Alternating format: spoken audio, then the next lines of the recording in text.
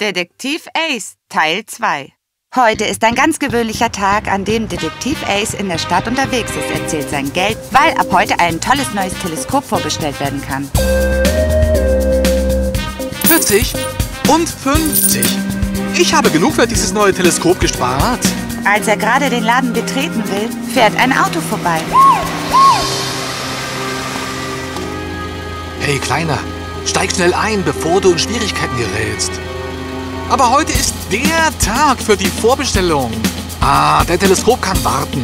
Da kommt gerade Ärger auf uns zu. Na dann, nun muss ich ja wohl. Also fuhren der Detektiv und der Polizist zum Tatort, bei dem es sich diesmal um ein Museum handelte.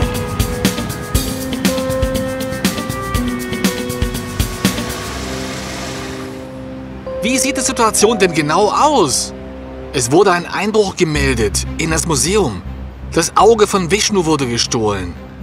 Der Dieb, der von den Leuten der unsichtbare Mann genannt wird, hat einen Brief hinterlassen. Morgen, am 2. Juli, 14 Uhr, werden Sie sehen, wie mein wahres Ich die Statur von König Artus stiehlt. Es ist jetzt 13 Uhr 55. Ist der Veranstaltungsort durch Polizei gesichert? Wir haben alles gesichert. Es stehen über 25 Polizisten um das Museum herum. Es gibt keine Möglichkeit, dass der Einbrecher eindringen kann. Der unsichtbare Mann scheint aber sehr zuversichtlich zu sein. Oh, wir sollten seinen großen Auftritt in 5 Sekunden sehen. 5, 4, 3, 2, 1. Aloha allerseits. Es scheint, als hättet ihr euch alle versammelt, um mich kennenzulernen. Die Menschen in der Umgebung waren verwirrt.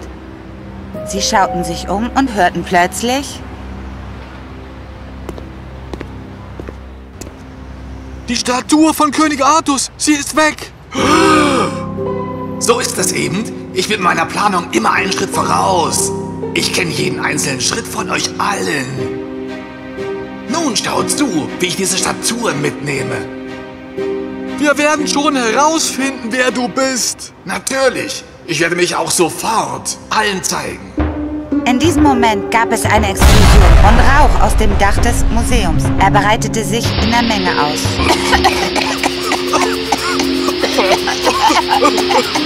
Als sich der Rauch lichtete, entpuppte sich der Einbrecher als niemand anders als... Hier bin ich, der größte Detektiv der Stadt. Detective Ace.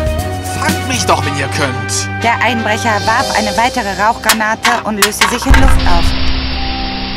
Die Menge und die Polizisten versuchten, zum nebligen Tatort vorzudringen.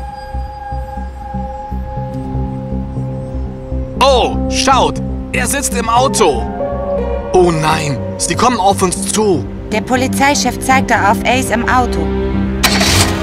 Doch bevor jemand zu ihm gelangen konnte, fuhr Mark blitzschnell weg. Halt! Dieb! Als Polizist Mark und Detektiv Ace den Tatort verließen, mussten sie sich in Sicherheit bringen, da Ace in großer Gefahr war. Am nächsten Tag schafften es Detektiv Ace und Polizist Mark auf die Titelseite der Nachrichten. Ah, die Situation gerät außer Kontrolle. Wir müssen alle wissen lassen, dass wir unschuldig sind. Detective Ace zeigt sein wahres Gesicht.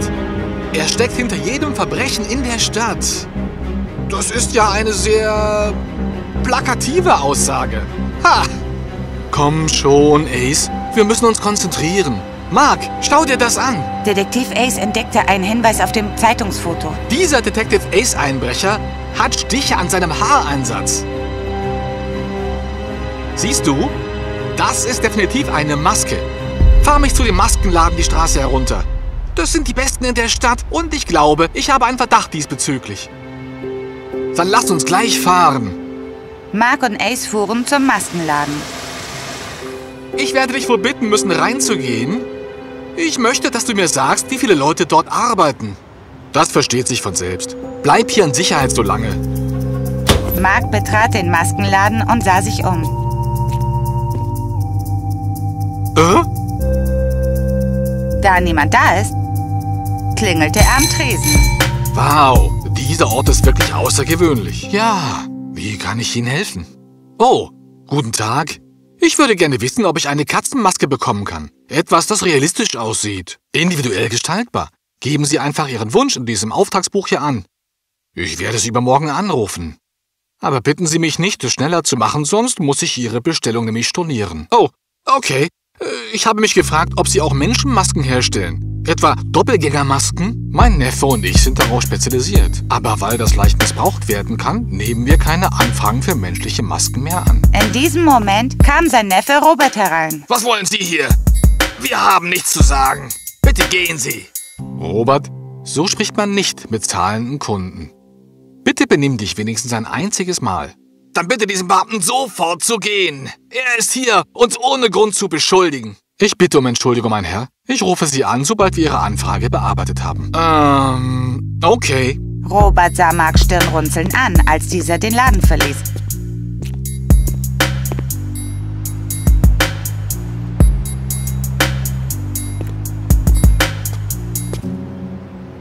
Als Mark zum Auto zurückkam, hörte er die Durchsage im Radio. Es wird gemunkelt, dass Detective Ace der Pate hinter all den Verbrechen ist, die bisher an dieser Stadt geschehen sind. Könnt ihr euch vorstellen, dass ein Junge wie er zur Mafia gehört? Polizeipräsident Ben sagt, dass er sich vertieft mit dieser Angelegenheit befasst und Ace so schnell wie möglich fassen wird. Ich hoffe, du fühlst dich jetzt nicht schlecht. die sind lustig. Jetzt verstehe ich, wenn Sie sagen, dass die Medien ihre Worte verdrehen. Das hier ist gut. Ich mag Mafia Ace. Das hört sich toll an. Ich vergesse immer wieder, dass du erst 14 bist und leichtsinnig. und, was hast du herausgefunden? Es scheint, als wüsste der Besitzer des Maskenlands nichts von der ganzen Sache. Aber ich habe ja Auftragsbuch. Außerdem hat der Besitzer einen Neffen, der unhöflich zu sein scheint und verdächtig. Es arbeiten also insgesamt zwei dort. Ein Familienunternehmen? Bravo! Mal sehen, ob wir eine passende Handschrift finden können. Mark und Ace kontrollierten das Buch, um Übereinstimmung zu finden. Hm. Aha! Vernon Solis? Die von ihm angegebene Telefonnummer gibt es gar nicht. Also, was sagst du dazu, Junge? Ich glaube, ich sehe da schon die Lösung. Lass uns heute Abend wieder in den Laden gehen. Aber dieses Mal werde ich mitkommen.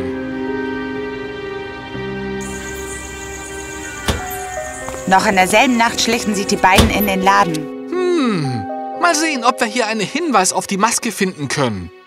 Ähm, ja, aber Junge, ich bin so müde. Gerade als Polizist Mark sich auf den Tisch ausruhte, stieß er versehentlich auf die Glocke, so dass sie herunterfiel. Und darauf öffnete sich plötzlich eine versteckte Tür, der zu einem geheimen Raum führte. Unglaublich!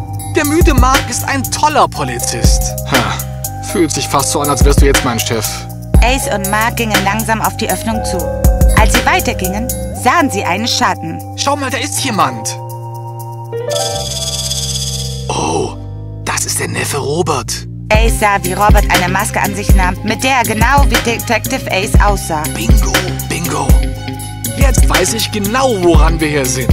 Mark sprang und ertappte Robert auf frischer Tat mit dem Kostüm. Halt! Hände hoch und gib sofort alles zurück, was du gestohlen hast. Er hat die Gegenstände nicht hier. Nimm ihn einfach fest und bring ihn zum Auto. Was glaubst du, wo sie sind? Ich werde es dir sagen, wenn es soweit ist. Mark legte Robert Handschellen an und brachte ihn zum Auto. Und lass uns was Verrücktes tun. Sage den Nachrichten, dass Detective Ace von Polizist Mark gefasst wurde. Und bitte sie alle, sich um 12.30 Uhr im Museum zu versammeln. Los geht's, Junge! Am nächsten Tag beschlossen Detektiv Ace und Polizist Mark, selbst zum Museum zu gehen, um Robert zu entlarven. Die Menge hatte sich versammelt, da die Nachricht im Radio und im Internet verkündet wurde. Auch die Sicherheitsleute und der Polizeichef waren anwesend. Die Menge staunte nicht schlecht, als sie sah, dass Polizist Mark Detektiv Ace mitbrachte. Endlich haben wir Detektiv Ace gefasst. Wir wollen eine Ankündigung machen. Wir haben nicht nur Detective Ace gefangen, sondern... Die Menge wartete neugierig auf diesen Moment. Es wurde viel gemurmelt. Mark bat Ace, nach oben zu kommen. Wir haben zwei Detective Ace? Das ist doch lächerlich. Was zur Hölle ist denn hier los? Also, Detective Ace ist der Neffe des Maskenbesitzers Robert. Und das ist noch nicht alles. Der wahre Mann im Hintergrund ist Polizeichef, wie immer er heißt. Ben. Okay. Ha? Wovon redest du denn überhaupt? Hey Kleiner, ich werde gefeuert, wenn sie das als falsch herausstellt. Erstens wurden die Überfälle angekündigt und als sie dann sagten, dass ich es gewesen sei, wusste ich, dass es eine Falle war. Zweitens, wusste ich in dem Moment, als ich die Stiche am Haaransatz auf dem Zeitungsfoto sah, dass ich den Maskenladen besuchen musste. Als Mark das erste Mal dort war, holte er mir das Auftragsbuch und ich erkannte sofort Polizeichef Bens Handschrift unter allen Einträgen. Schade, dass sie nicht versucht haben, ihre Handschrift zu verstellen während im Solace. Zudem, da der Einbruch trotz der strengen Sicherheitsvorkehrungen im Museum stattfand, musste es jemand aus der Polizei gewesen sein, der bei dem Einbruch geholfen hatte. Robert wollte nicht stehlen. Er half Polizeichef Ben eine Maske anzufertigen, die wie ich aussah, und zwar auf dessen Wunsch hin, um die Stadt gegen mich aufzubringen. Pass auf, was du sagst, Junge! Robert betrat das Museum wie ein gewöhnlicher Besucher, begleitet von Polizeichef Ben. Er ging in den Raum des Hausmeisters und zog sich seine Detektiv-Ace-Kleidung an. Und ging dann hoch, um wertvolle Kunstwerke zu stehlen. Und bei dem zweiten Überfall, der sich ereignete, beschlossen sie, Robert in das Museum zu begleiten. Obwohl dort niemand Zutritt hatte. Bist du verrückt geworden? Mark, du bist gefeuert. Warum sind sie dann so lässig aus dem Museum gekommen, als der Einbrecher oben auf dem Dach des Hauses stand? Gestern schienen sie das nicht überrascht zu haben. Die Handschrift, der Diebstahl und das gestrige Verhalten, alles wies auf nur eine Person hin. Und das war Polizeichef Ben. Schauen Sie, wie ähnlich die Handschrift des Briefes, des Eintrages und Ihrer Berichte ist, die Sie letzten Monat geschrieben haben, die ich aus dem Revier mitgebracht habe? Detektiv Ace zeigte alle Gegenstände, die er hatte. Sie trugen alle die gleiche Handschrift vom Polizeichef Ben. Der Sicherheitsdienst verhaftete ihn sofort. Und was ist mit den gestohlenen Gegenständen? Die sind noch da. Sie sind im Hausmeisterraum des Museums. Robert kann nicht gut klettern. Er warf eine Rauchbombe, ging zurück in den Hausmeisterraum, um sich umzuziehen und kam als normaler Besucher aus der Tür. Die Polizisten gingen in das Museum und überprüften das. Sie fanden die fehlenden Kunstwerke und derweil wurde Chef Ben in Handschellen gelegt. Du hast immer meine Stellung bedroht, für die ich so hart gearbeitet habe. Deswegen wollte ich eine Lektion erteilen. Irgendwann werde ich dich überlisten, Kleiner. Die Polizeibeamten zerrten ihn in den Transporter und nahmen ihn mit. Und wieder einmal hatte Detektiv Ace einen Fall mit links gelöst. Was ist die Belohnung, die du dieses Mal willst, Junge? Mafia Ace will das Teleskop, das ich vorbestellen wollte. Ah, komplett unnötig. Der neue Bürgermeister der Stadt hat es bereits für dich bestellt. Zwei Wochen vor der Veröffentlichung. Oh ja, ich werde heute außer Dienst sein. Sterne beobachten.